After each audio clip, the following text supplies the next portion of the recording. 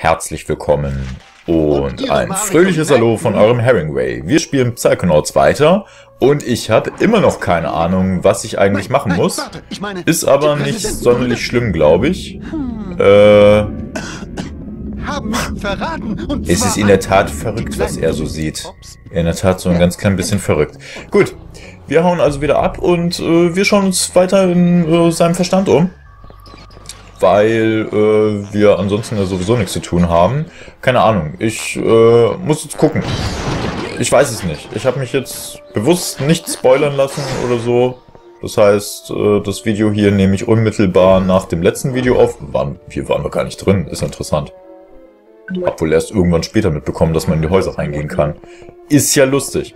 Gut, ja, ähm, hab mich also bewusst dagegen entschieden, irgendwie gespoilert zu werden oder irgendwie sowas in der Art war jetzt vielleicht nicht die klügste Entscheidung, je nachdem. Wer also rein Spielfortschritt sehen möchte, der ist jetzt gerade hier mit diesem Part vermutlich nicht gar so gut bedient.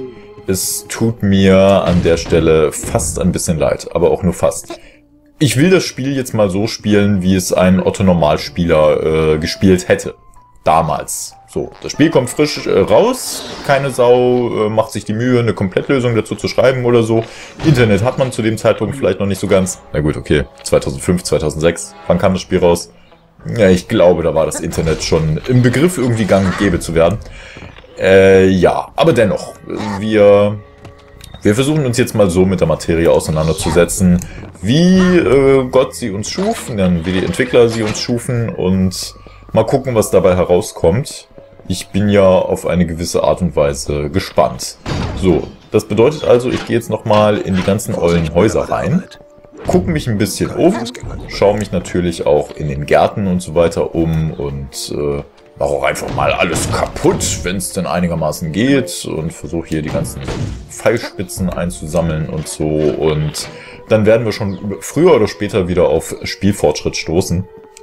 Und im Endeffekt ist das ja auch eine ja, willkommene Gelegenheit, um einfach mal wieder über Gott und die Welt zu quatschen oder so. Habe ich äh, zugegebenermaßen in letzter Zeit nicht gar so oft machen können. Was äh, teilweise so ein bisschen auch durch meine Spieleauswahl begründet war. Dadurch, dass ich eben nur noch, in Anführungszeichen, zwei Projekte auf meinem Kanal zum Laufen habe und momentan auch noch beide Projekte davon äh, Spiele sind, die ich selber noch nie gespielt habe namentlich also Psychonauts und Fragile Dreams. Äh, das ist alles ein bisschen ein bisschen schwierig. Was will ich jetzt eigentlich gerade? Ich will das Schild nehmen. Ähm, ja, herrlich. Ui! Das ist ein bisschen schwierig dazu, äh, da in, bei solchen Spielen einfach ins äh, Reden zu kommen oder so. Das ist ein ganz klarer Fall. Äh, ja, die Spiele sind selber für mich neu. Ich sammle haufenweise selber neue Eindrücke. Und diese Eindrücke, die wollen ja auf eine gewisse Art und Weise irgendwie äh, fachgerecht äh, konsumiert werden und äh, dementsprechend ist es dann in dem Moment eben so, dass ich hauptsächlich über das Spiel rede und nicht so wirklich über das Drumherum was zum Beispiel bei mir gerade so abgeht oder was vielleicht abgehen könnte, wenn ich irgendwie mehr Zeit hätte oder irgendwie sowas in der Art, ja. In der Beziehung vermisse ich eigentlich fast die Tatsache, dass ich äh, sowas wie Mario Kart momentan eigentlich nicht spiele, weil das war immer so ein relativ willkommener Moment einfach, um mal ein bisschen noch nebenbei zu reden und so. Wobei ich mir auch äh, natürlich auf der anderen Seite dann immer nicht so sicher bin, wie interessant das überhaupt ist, wenn ich über irgendetwas anderes rede. Ähm, ja, aus dem ganz einfachen Grund, weil ich glaube, die meisten Leute gucken sich dann ja doch eher so ein Let's Play unterm Strich an, um das Spiel zu sehen. Und bedingt etwas, um bedingt, um dann etwas über den Let's Player noch zusätzlich zu erfahren oder so. Das ist dann halt immer so eine gewisse Gratwanderung.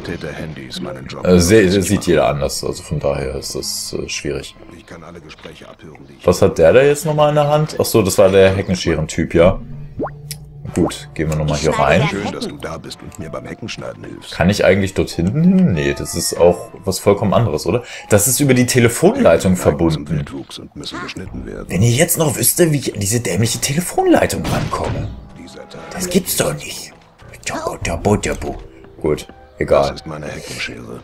Damit War, war auch ich deshalb wieder auf den Gedanken von Mario Kart und so gekommen, weil ich, ich glaube, vor zwei Tagen bei so einem Community-Turnier mitgemacht habe, das äh, ja von den Rocket Beans veranstaltet wurde über Twitch.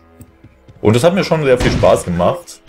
In erster Linie aber wahrscheinlich auch deshalb, weil ich da nichts organisieren musste, sondern ich war einfach nur stiller Konsument in dem Moment. Ich äh, konnte einfach nur.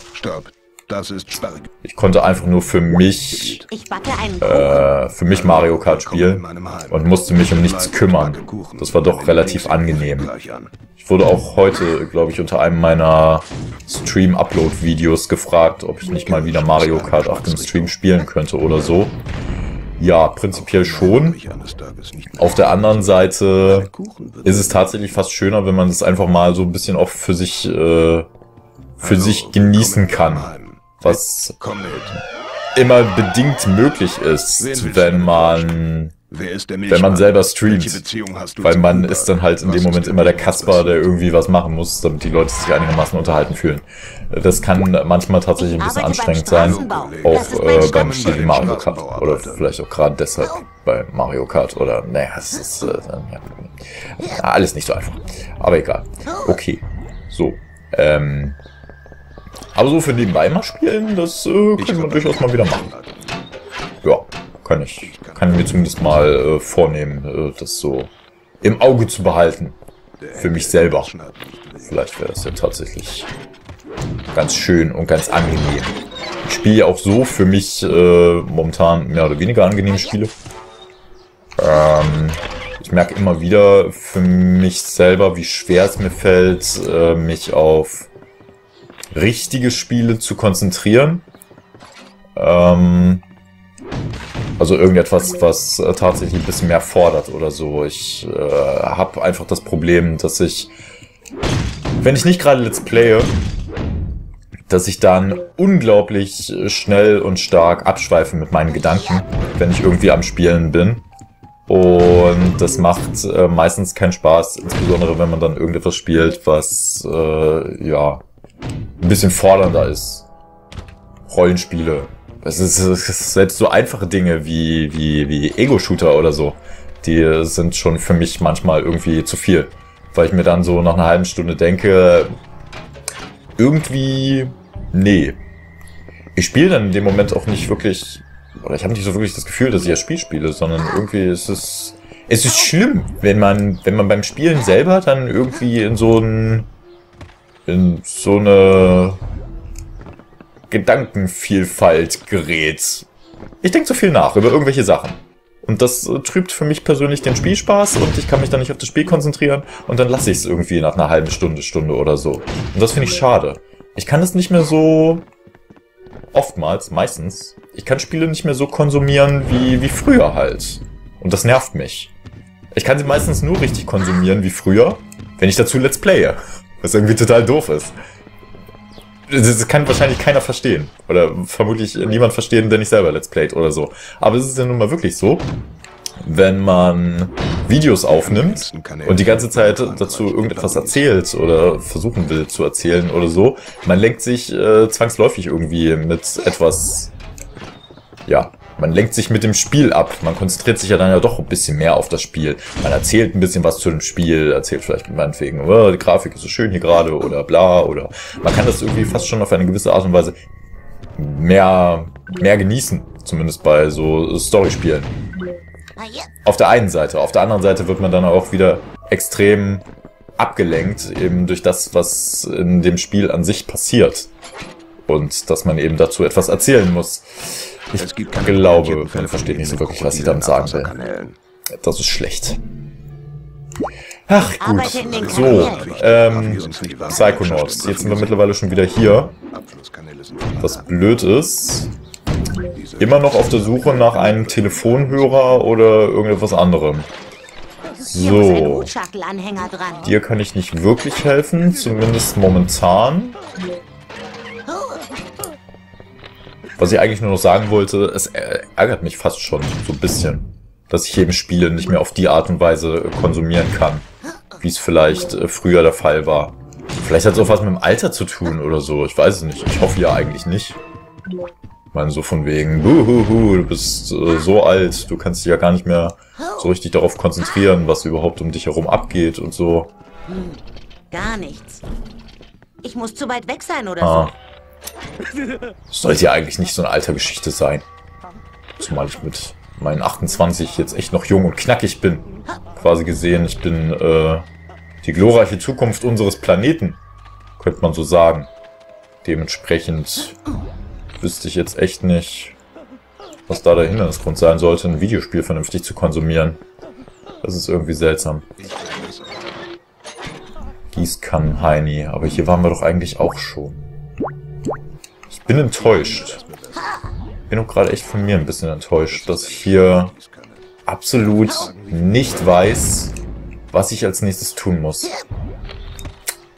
Ist. So ich dämlich, dämlich und unschön, unschön.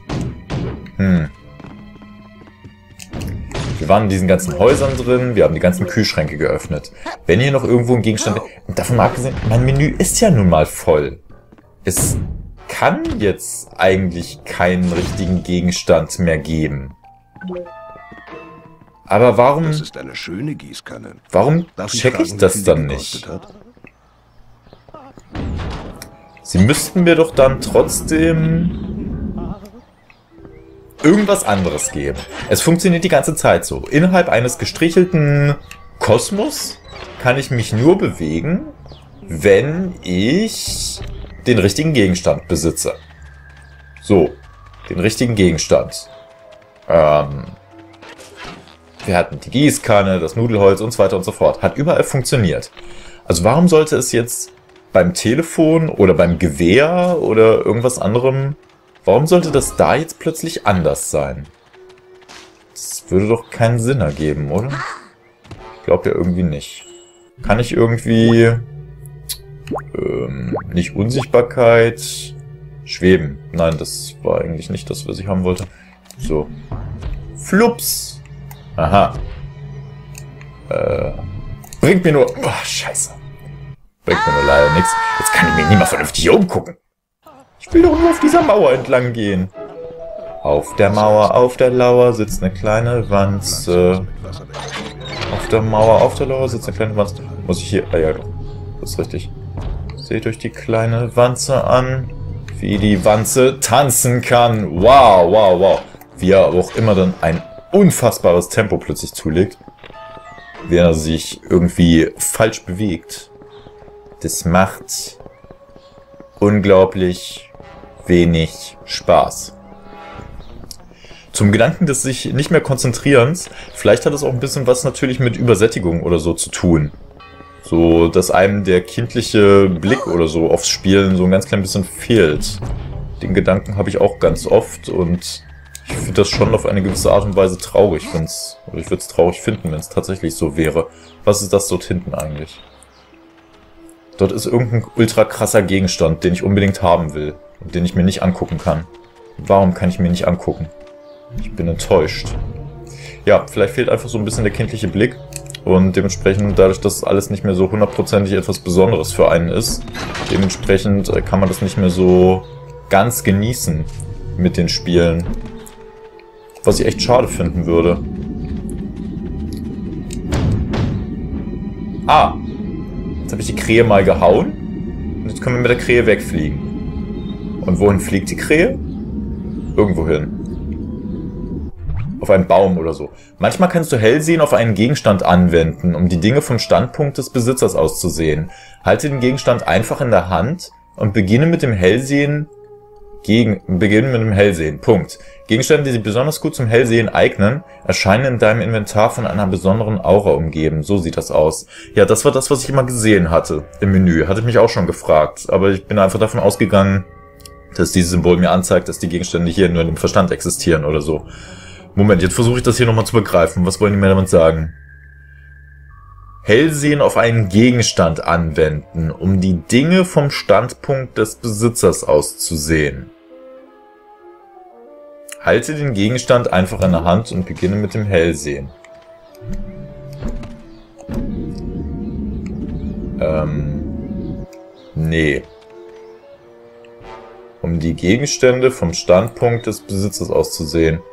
Was ist das? Gegenstände. Du hast mehr Gegenstände, als auf einer Seite Platz haben. Nein. Es gibt also doch mehrere Seiten. Also gibt es doch irgendwo das Telefon und so. Warum? Warum? Ich bin schockiert, geradezu. So, Elsie. Hm, gar nicht. Nee. Funktioniert mit Gießkanne nicht, aber mit Nudelholz. Einen Kuchen. Hm, gar nichts. Ich muss zu weit weg. Irgendwie nicht. Hm. Das meinten sie jetzt einfach nur mit der Krähenfeder, ja? sein oder so. Weil ich mir so die olle Krähe angucken kann. Aha. Trotzdem... Ich glaube, das Spiel verwirrt mich mehr, als dass es mir hilft. Das ist so schrecklich. So. Machen wir noch ein paar Liegestühle kaputt, weil es irgendwie so wunderbar funktioniert. Und dann sehen wir, dass wir nichts sehen. Das bringt hier alles nichts. Okay, was haben wir im heutigen Part gelernt? Äh, dass man mehr Gegenstände tragen kann, als äh, man... Ja, dass man mehr Gegenstände tragen kann, als es den Anschein hat.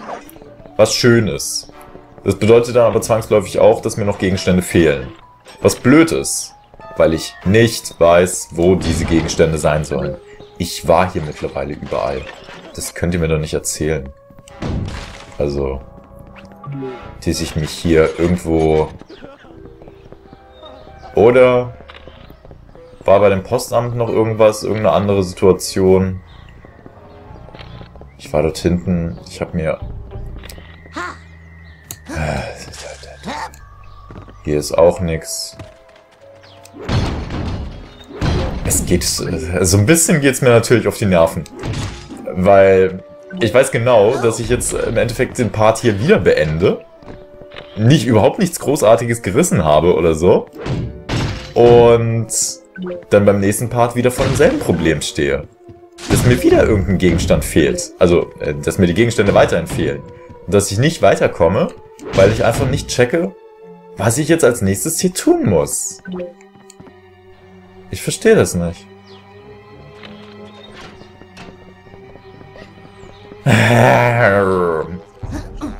Es tut mir so leid, wirklich. Ich würde euch ich würde euch furchtbar gerne einfach nur das Spiel zeigen und vermutlich wäre das auch richtig äh, so, wie man es halt macht. Aber ich weiß es im Moment halt einfach nicht besser. Ich weiß es im Moment einfach nicht besser. Wir waren schon hier reingegangen. Wir waren schon im Postamt. Wir hatten hier den Pümpel-Pömpel. Wir hatten das Ding da äh, so rausgeholt. Ha hatten wir alles schon geholt. Das Rätsel hat mir übrigens hier ziemlich gut gefallen, so. Mit äh, dann in den Verstand des komischen Typen da schlüpfen und sich den Code da so herausangeln und so. Das hatte schon was. Das hatte schon was. So, okay. Ja, äh, hilft nichts. Ich muss jetzt hier gerade frustriert aufhören. Das äh, tut mir echt leid. Beim nächsten Mal muss ich mir wieder irgendwas überlegen. Wir waren jetzt mittlerweile fast überall drin. Okay, ich bin jetzt zum Schluss nicht mehr in alle Häuser reingegangen, aber eigentlich äh, waren wir ja. Also äh, irgendwie muss das anders funktionieren. Und ich weiß nicht wie. Okay, ja, dann äh, tut mir leid. Ich sag für den Moment dann erstmal wieder Tschö mit Ö und hoffentlich bis ganz, ganz bald.